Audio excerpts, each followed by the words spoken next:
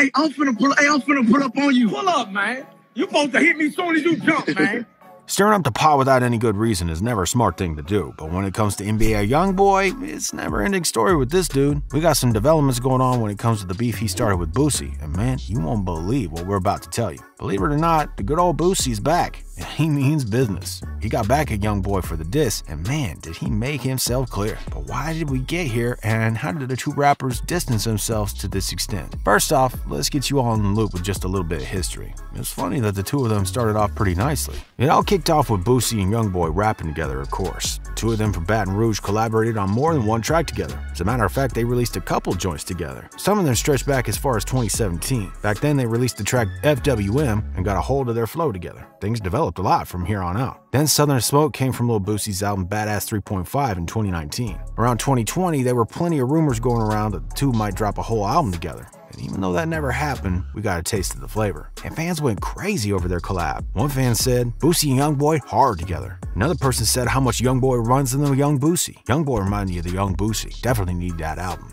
Regardless of the album not coming to fruition, and we'll talk about that more in a minute, nothing stopped them from still dropping singles. The duo got together again in 2021 with a banger called Up in Blood. Then, Youngboy went to jail where he spent about six months. He was released on October 2021, but with a whopping $1.5 million bail. Also, part of the deal his lawyers made with the judge was that Youngboy was to be on house arrest for another period of time. He had to be under heavy surveillance in Utah by cops and the military. Boosie showed his support for the young rapper by going on Twitter and posting, Free to go, YB till we see the goat. He go be back. That wasn't all. He also had something to say about it on Instagram. Free NBA young boy. Them kids need you, young dude. Real talk. He wrote on Instagram. We got a tape that's fire. Let's talk and get this to the streets and make some money. NBA Youngboy showed his fair share of respect to Mr. Boosie Badazz too. In fact, they were filmed multiple times together, having fun, laughing, enjoying their time together. There's even a video where NBA Youngboy bumps to a Boosie track. So big music, big street love, and can't be duplicated. It's no secret that Boosie perhaps used to see his younger self in the NBA Youngboy, and that's what one of their fans posted this. Youngboy is basically a mini Boosie. And then suddenly, everything came crashing down. So what really happened? Even though Youngboy was unable to leave his house because of his house arrest, that didn't really hurt his music career. In fact, he continued making music even from his home, and Boosie ended up being on one of his diss tracks that he released in 2022. NBA Youngboy released a track called I Hate Youngboy, and the diss wasn't only directed towards Lil Boosie. In our previous video, we already mentioned all the people that the diss included, so we won't go over all that again. But why Boosie? What did he do wrong? Well, let's just say the young boy felt a little bit upset. Feel like Boosie didn't do enough for their friendship. On the I Hate Young Boy track, he raps, feel like Boosie don't even call me.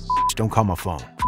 To sum up the song, let's take a look at one of the comments from the track. Youngboy proved to everyone that he can break the internet with one song anytime he wants. He may have broke the internet with just one song, but the internet wasn't the only broken thing after this track got out. Boosie's feelings were too. Boosie heard the thing and was pretty quick to reply. He didn't shy away from telling everybody what he thought about the whole diss track that coming at him from NBA Youngboy. In a recent Vlad TV interview, Vlad and Boosie sat down to talk for a second time in just a few months. They went over some stuff going on with his personal life, but one of the more important things that the two of them talked about was Boosie's feelings in regards to what went down diss track that NBA Youngboy pulled off. Vlad asked Boosie about his track I Don't Call Phones, I Call Shots, and what was the message behind it. Immediately, Boosie let him know that the track wasn't exclusively about Youngboy. Vlad first said that he made a whole song about Youngboy, but Boosie denied that, saying that the song wasn't only for him, just a couple of lines where he spoke on YB.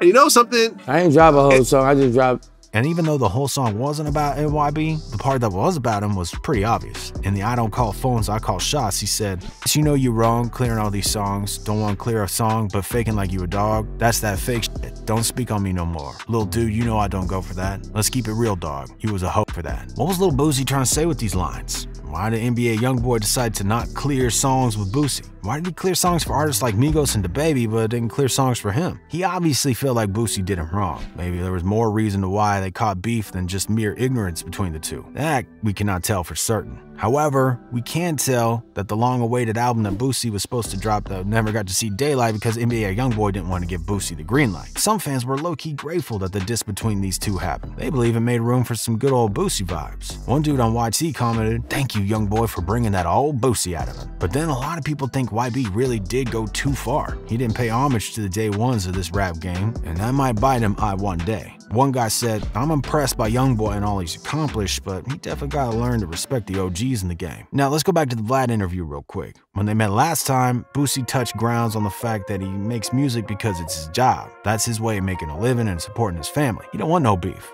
You don't want no diss tracks. But what happened with this track? Why'd he go off on a YB like that? To answer that question, Boosie thought deeply about what message he wants to send out. And after about 10 seconds, he said, Because I don't want to kill him. Okay, that's tough. He did give some explanation to exactly what he meant with this line, though. Afterwards, he added this. So, you know, I just wanted to, you know, say what I had to say. You know, I didn't really promote the song. You know, I just wanted to say what I had to say, you know. Boosie also went into more details with Youngboy's decision to not clear Boosie's song. Just saying some pussy shit I feel like, you know, he do, you know what I'm saying? That's, that's all I felt, you know, like, When asked about his opinion on the recent success and drama revolving Youngboy's music career, Boosie cold-heartedly said, I won't talk about that Yeah, NBA Youngboy just got served. Boosie didn't want to hear his name, and he certainly don't want to talk about him no more. Also, he said that he wouldn't squash the beef with Youngboy even if he had personally called Boosie up to apologize. It's dunzo between these two. Boosie just won't go over the fact that Youngboy played him like that. It's a no-no up where Boosie grew up, and once you cross the line with him, you're a goner straight up. But something that Boosie said in the interview really surprised us. He was very honest in saying this. Nigga hurt my feelings, man. Nigga had me hot. Well, folks, that's one way to ruin a perfectly good friendship. Boosie couldn't be more honest about how he felt about the whole situation. Seems the young boy valued his career and the possibility of making it in the rap game more than paying respect to the ones who like to see him grow, like Boosie. There's also a chance that the diss made by YB wasn't really intentional and that he wanted to make money off the whole narrative. It wouldn't be the first or last time that rappers used this trick in order to boost their album or single sales. If that were the case, however, wouldn't Boosie keep quiet about the whole thing? Obviously, yes. Perhaps the diss itself was just a marketing trick. As a result of it, YB lost a friend, as well as one of his hottest features. This would seem like a more likely story. Do you think there's ever going to be a way the two might start talking again somehow? Is it really over? Or is there a way the young boy can do something in order to reach out to Boosie? Let us know in the comments section down below. If you enjoyed this video, make sure to check out this next one, and as always, keep it Rizzle.